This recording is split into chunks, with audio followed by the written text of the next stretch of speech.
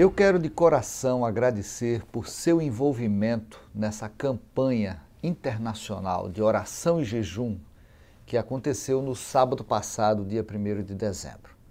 Foi maravilhoso ver o mundo inteiro envolvido, o resultado foi extraordinário, mas infelizmente, Pastor Monteiro e Bruno continuam presos.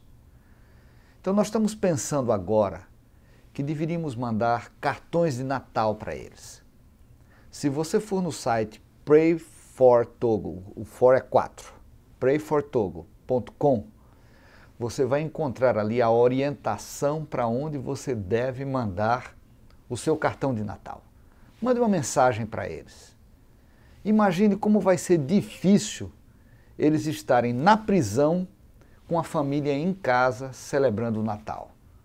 E vai ser muito significativo se você puder mandar uma mensagem para que ele sinta que a família de Deus ao redor do mundo se importa com eles está orando por eles, que muito em breve eles venham para a liberdade e saiam fora dessa situação de injustiça.